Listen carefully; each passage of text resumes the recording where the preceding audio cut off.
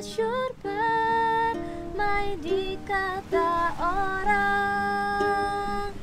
Tetapi kampung dan rumahku Di sanalah aku rasa senang.